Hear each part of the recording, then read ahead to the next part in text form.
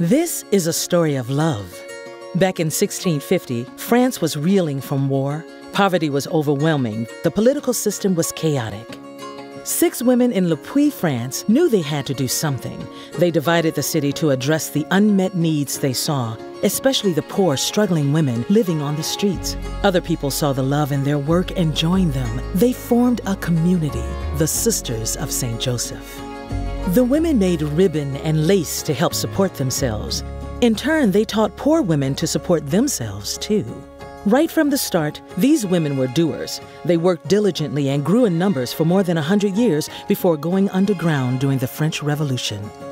The sisters re-established in 1807 by Mother Saint John Fontbonne in Lyon, France. And as word of the sisters' good deeds grew, their community grew. In 1834, the Bishop of St. Louis, Missouri, asked for Sisters of St. Joseph to come to America. Bishop Cretin invited the Sisters of St. Joseph to join him in St. Paul. Four sisters boarded a steamboat in 1851 and headed north on the Mississippi River for the Minnesota Territory. The sisters were given a small building on the bluffs of the Mississippi as their home.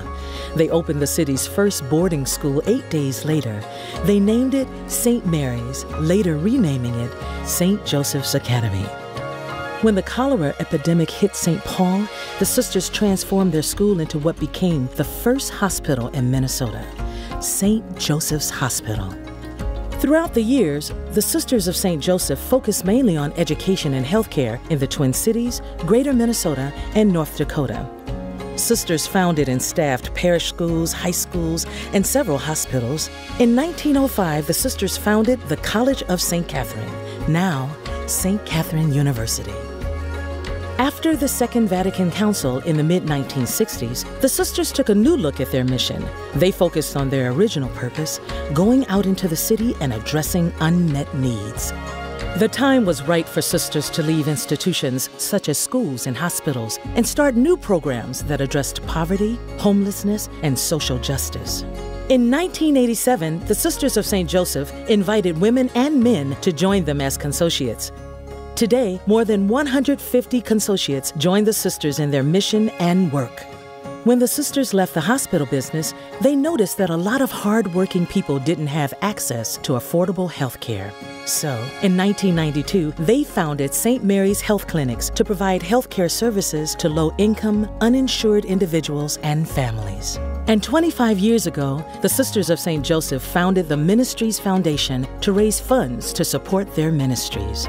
The sisters have supported new immigrants since the late 1800s. Today, immigrants who need to navigate in a new culture with its difficult language are served by Learning in Style School and the Children's Room. Women in need of safe housing are served at Sarah's, an oasis for women. St. Mary's health clinics are still greatly needed. Our patients come to us with no other options and are sicker and need greater, more costly care. Those committed to justice for all are served by our Justice Commission, which is rooted in the belief that justice is the work of all of us.